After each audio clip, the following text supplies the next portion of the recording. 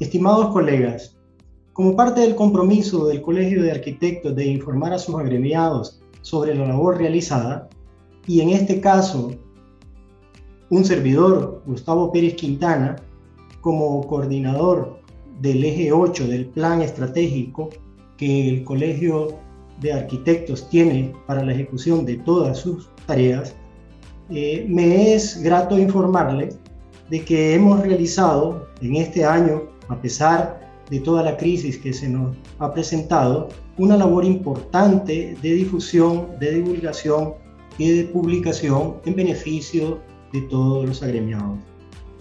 Hemos dividido este eje 8 en el comité editorial, abarcando todas las funciones que le corresponden en cuanto a la publicación de memorias, libros, la revista Vitar y en parte también las publicaciones digitales y los trabajos que se han realizado tanto en webinar como también en el levantamiento de videos como parte de la fase de investigación sobre la trayectoria y la obra de arquitectos importantes de nuestro país.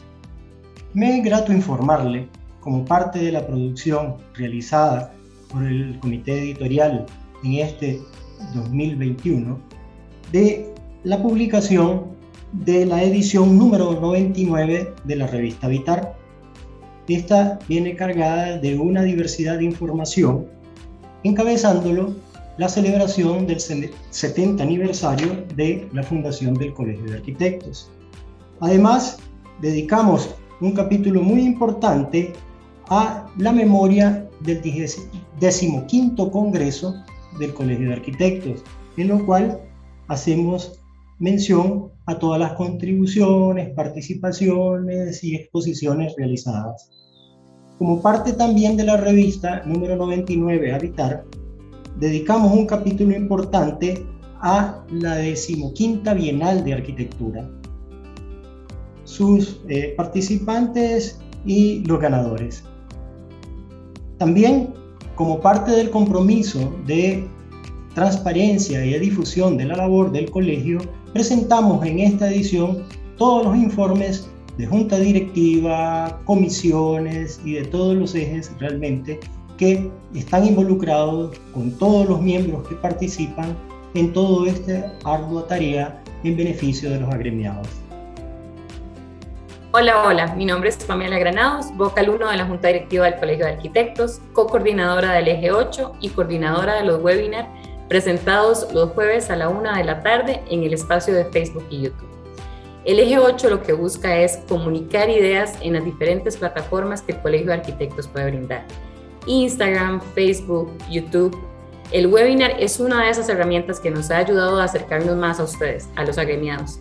Hemos buscado tocar temas de paisajismo, de urbanismo, de patrimonio, de todos esos aspectos que los arquitectos necesitamos información, saber qué se está realizando en el día a día en arquitectura y qué podemos realizar más.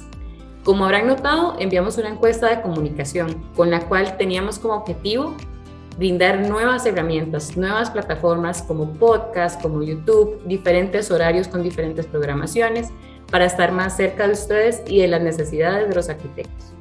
Esperamos seguir contando con su participación en todos estos medios de comunicación y estas plataformas y si así lo necesitan, que nos comuniquen alguna diferente plataforma que necesiten.